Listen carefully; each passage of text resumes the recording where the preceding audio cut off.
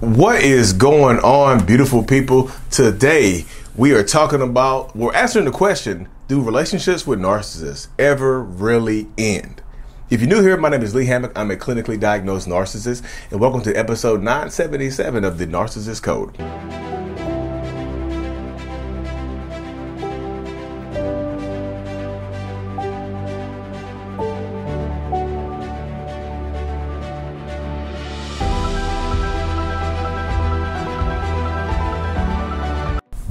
977 episodes, y'all. Goodness gracious. We are we are rolling along.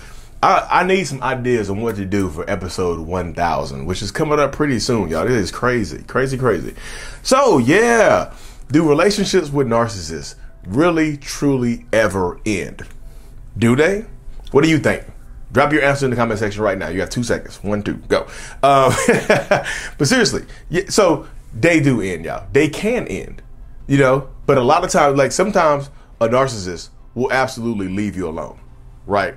Some narcissists don't hoover you. They don't mess with you after the relationship ends. Some of them will disappear and, and be out of your life like they never even like it never even happened. You know, like you've rebuilt after the wreckage and all the others. Like like a, a little toxic tornado came through and ripped up a lot of stuff, and now you've rebuilt. And they, it's like they never existed, right? But some of them will some of them will make it hard to get rid of them, like a, a, a tick that's dug deeply into your arm. He was like, ah, I gotta grab his butt and twist it. You know, you know I tell you, don't you gotta grab the butt and twist. Make sure you get the mandibles to make sure the tick the tick is out of your system. But it, even when you pull them out, just like a tick, even when you pull them out, sometimes they leave things behind. Right? Some ticks leave behind the Lyme disease, which could ruin your life.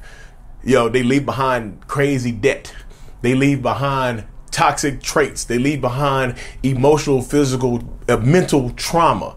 They leave behind just so much wreckage in your life will leave you to pick up the pieces. But does the relationship ever end? Yeah, some of them do. Yeah, most of them do. There are there some narcissists that will just continuously, constantly try to keep popping up into your life. Yes. There's some narcissists that damn near will almost never give up. 5, 10, 15, 20 years down the road. And I'm pretty sure that a lot of people can attest to that. Five years later, I've moved on, they've moved on, but they're still in my inbox. They still create fake profiles and stalk me. They still send me messages and this, this, that. A lot of y'all have experienced that. And that sucks. I'm just telling you that, and that sucks. But it's because sometimes, like this is the like this topic kind of crosses the the threshold of what a lot of people refer to as the final discard, right? Like the final discard. Like, is this the final discard? It could be, but a lot of times it's up to you when the final discard happens.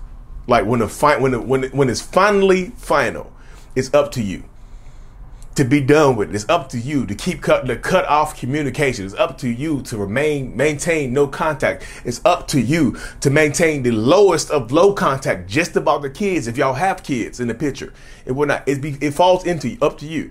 Because some narcissists will leave you alone. I told you some of them, some of them will disappear and leave you alone and never, never, never to be heard from again. It sounded like the beginning of uh, Moana. Maui lost his hook and fell into the sea, never to be heard from again.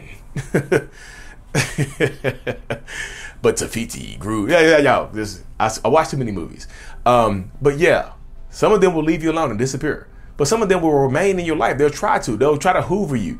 You know, the back and forth, the on and off. That type of stuff continues until you decide to put an end to it. You you have to decide to put an end to it. You have to decide to put the put the, the nail in the coffin. You have to decide to file the restraining restraining order sometimes. You have to decide to file the eviction notice to get them the hell up out of your spot because they refuse to leave. They're not on the lease. They're not on the deed. They're not in, they're not on the mortgage. Y'all not even married, but they refuse to leave. You have to evict them. But you have to be safe, of course. You have to be safe because you never know how people are going to react when they, they feel like their life is on the line or their, their life is about to be turned upside down. You just never know in that space right there. So that's what I'm telling you. You have to. You it, it falls under you. And I, I, know it doesn't sound. I know it doesn't seem fair, but you know, a lot of times in these toxic relationship spaces, fairness goes out the door. You know, fairness leaves the fair, fairness packs its bag packs, packs its bags up and leaves. It's not fair. It really isn't. So it falls onto you to be strong. You have to. Sometimes you have to be stronger than a, a, person that's going through a similar situation. Some survivors have to go through more than other survivors. Some thrivers have to go through more than other thrivers, but you're still a thriver. You're still a survivor. You still got out of it. You still ended it. You still there's still finality to it, but sometimes you have to fight a little harder. Some battles are tougher than other battles. And that's not me trying to diminish anybody's struggle because your struggle is your struggle. I'm not trying to diminish anything that anybody went through. But I think people can acknowledge that some people go through more. You know, some people go through physical abuse, mental abuse. Sometimes it's verbal abuse, abuse, abuse. Sometimes it's verbal abuse, emotional abuse. You see what I'm saying? I'm not saying one is worse than the other, but sometimes it's like, well, I had this. They set my house on fire while I was in it, and had me chained to the chained to the bed. I had to fight through and crawl through the flames and stuff like that to, to get out of there. You see what I'm saying? Some of y'all has there's different levels. I mean, there's different survivors. I'm not trying to minimize anybody's struggle, anybody's strife. I promise you, that's not my goal here. Um, because I know everybody's survival is your survival. Somebody's little could be somebody's big. Somebody's less could be somebody's lot. Somebody's few can be somebody's much. You know what I mean? Within that space right there. That's what that's what goes on. That's what that's what happens right there. Because within this dynamic. But you are a survivor. You made it through. But if you want it to end, you have to be the one to end it. Lee, when does it, when does it end? What, why do they keep coming back? Why, it, why are they not blocked? I know some of y'all do block, but some of y'all just ignore. I know I understand if you have kids, but some of y'all don't have any more ties to the person. All the ties have been severed. They're just not blocked. You know, what's keeping you from blocking it? What's keeping you from closing, from making this the final chapter in the book? D and I blocked they ass. The end. What's stopping you from doing that? What's stopping you? This is not this is again, this is not no blame, but what, I'm asking you a question. What's stopping you? This is not victim not victim blaming. This is victim empowerment to help you shift from victim to survivor to thriver. We love we love it all, we love them all over here. We love it all over here. But we, we want to help you transition to the next stage. So what what is what is stopping you from doing that? Because it ends when you end it sometimes. Sometimes you have to be the one that just says, hey, look, I'm done with this. Don't call me anymore. Block you everywhere. Boom. Sometimes you have to be the one to move out while they're at work because they're dangerous, because they're scary. Sometimes you have to disappear on them. I'm not saying abscond with the kids. I'm not saying that. Everybody's situation is different because then sometimes you take the kids, you disappear, they'll file parental, parental alienation, some kidnapping stuff, and they'll they'll get custody of the kids. You know, you know, follow a one mom's battle. She's I see her posting a lot of stuff about this. One one O N E moms M O M S battle. She's on TikTok, Twitter, Instagram. She's everywhere. Um, her name is Tina Swinton. She's an amazing creator. Y'all should check her out. Um, but she posts a lot about this type of stuff. Like, like she she can help you get out. I mean, she she she has she she, she survived with her kids. I'm stuttering because she she affected me in a positive way. So shout out to Tina. Um, she's one of the first people to help me on my platform on my journey. So shout out to Tina Swinton. Um, over at One Mama's Battle. But that's what I'm just telling people. Make a plan. You can plan. Sometimes you sometimes you can plan. Well, Lee, I don't have any money. I don't have any financial situation. That's why you have to start planning now because that's what the narcissist wants. They want you to feel beat up. They want you to feel beat down. They want you to feel like you're on a desert, deserted island by yourself with just the narcissist. They want you to make you feel like you you're shooting smoke signals into the air. Nobody's going to see. They want to make you feel like you're alone, like nobody's coming to save you. Because sometimes, a lot of times, nobody is coming to save you. Because guess what? Sometimes you got to save you sometimes it falls onto you to save you. You have to take the ability, you have to take the responsibility of saving yourself. You're a superhero, and sometimes, sometimes you have to be the biggest superhero to yourself. Sometimes you have to put on your Superman or your Superwoman cape and a su- super person cape and save yourself. Sometimes you have to be the hero to you. You don't need another hero. Sometimes you have to be the hero to you. You know, you can save yourself. You can look. There's nothing. There's absolutely nothing wrong with stepping into inside the phone booth and changing into your super person costume and saving yourself. You can save you. You can save your kids. You can end this for good. You know, because sometimes being in these toxic relationships can take you to a dark place. Y'all know what I mean by dark place. Well, I'm going into details. That dark place where you feel like you don't want to be here anymore. It'd be easy to to to opt out. We're not doing that. We're not opting out. You're opting into life and we're opting into thriving and we're opting into getting out of this for good, ending it for good. Every time I'm on the pathway to healing, Lee, they come back into my life, then kick them out of your life. It's your life. You have to stop them from coming back. Restraining orders, eviction notices, protecting yourself. You, if you're in the United States of America, you might as well go ahead and arm your damn self. It's the Second Amendment, right? Protect yourself because they don't they don't want to protect you. They the ones you need protecting from. They, oh, I just want look. I'm just calling you from 17 fake numbers because I just want to make sure you're safe. You're the person I need to be safe from.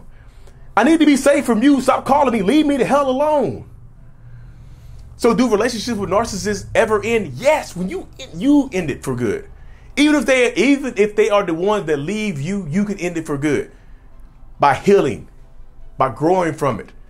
Because just in case they come back, you want to be strong enough to say, hell no, leave me the hell alone. I'm done. You didn't see the last chapter of my book? I left, I blocked they ass, the end.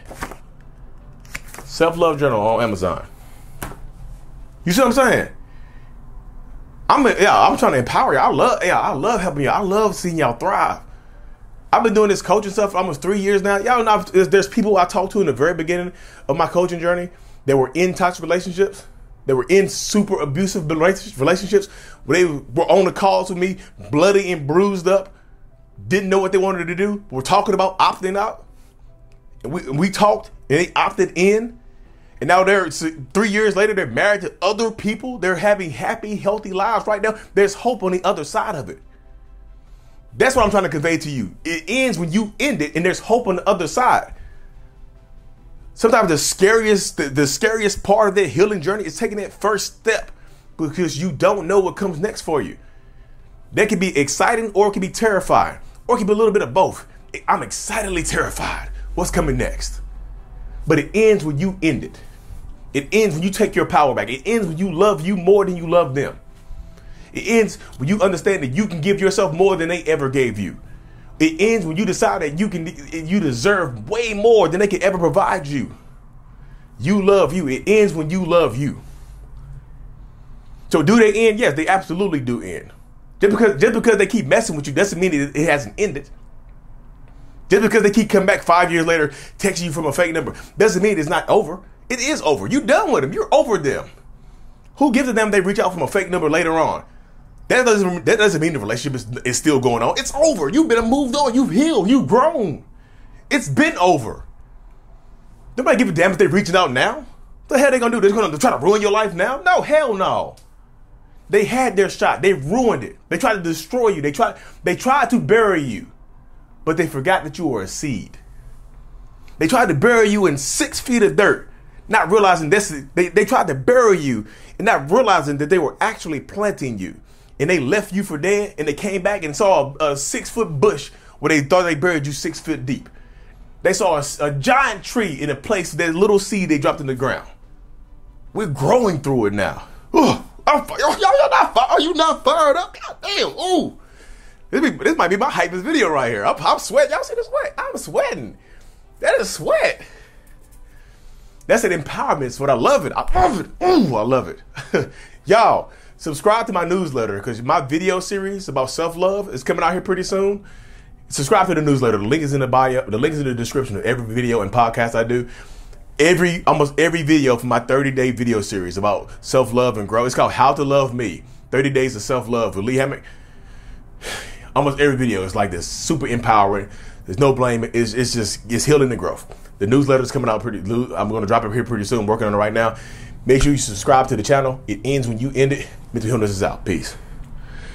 Thank you so much for making it to the end of my video. You are a mental healness rock star and I appreciate you for being here. If you haven't already, make sure to click on the screen to subscribe to the channel and watch another one of my videos in my playlist. There's also a link available up here for you to purchase my kids book. Remember, it's not your fault on Amazon. So check that out. Thank you. I will see you in the next video. Peace.